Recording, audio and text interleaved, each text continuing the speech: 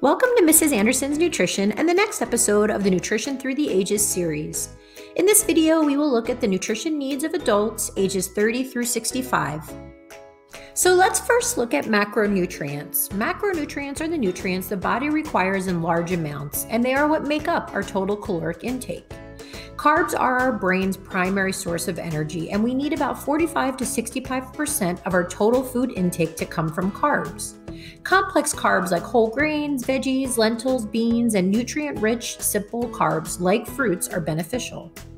Fats are needed to support brain functions. Fats also help cushion and insulate the body, and fats are needed to absorb some vitamins like A, D, E, and K.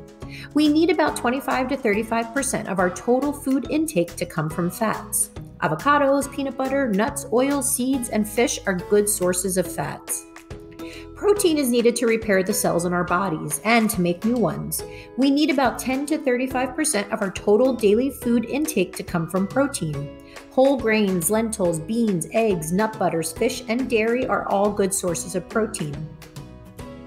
Now, calories are not a macronutrient, but they're worth mentioning here as they are the fuel our body uses to survive. Calorie needs can be determined by listening to our body's hunger and satiety cues. Moving into micronutrients, these are the nutrients our bodies need in smaller amounts, but they are just as essential as macronutrients. So, how can we make sure we are getting the nutrients our bodies need? As with every other age group, a balanced and varied diet will sufficiently provide what we need.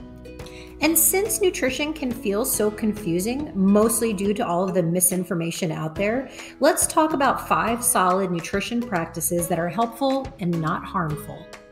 Incorporating a variety of foods into your diet is our number one practice. Every food offers its own unique combination of nutrients. If our goal is to consume sufficient amounts and types of nutrients, we want to vary what we eat. Variety includes eating from all of the food groups protein, grains, veggie, fruits, and dairy, dairy depending on your feelings around it.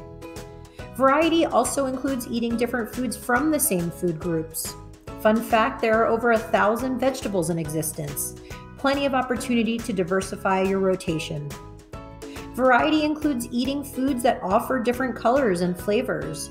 Bell peppers are green, red, orange, yellow, even white and purple, and they all offer different flavors and nutrients. And lastly, variety includes preparation and cooking. Do you love raw broccoli? Great, try it steamed. Nutrient availability can change with how we prepare our foods. Variety is the key. So many suggestions around supposed healthy eating involve removing individual foods and even whole food groups from the diet. This is restriction or subtraction. However, research supports the opposite. Every single food, and especially whole food groups, provide an array of nutrients. When we remove or avoid certain foods and food groups, we are missing out on potential nutrient availability. Try adding new foods and different foods to increase the amount of nutrients consumed. Plus, restriction just leaves us feeling unsatisfied and limited by our options. Eating enough fiber is our third nutrition practice. Fiber does a number of things for our body depending on the type. Soluble fiber dissolves in water, and this means it slows our digestion, allowing nutrients to be absorbed. It also helps push food through our intestines to keep them moving. Insoluble fiber can't be digested, so it scrubs our insides as it works its way through.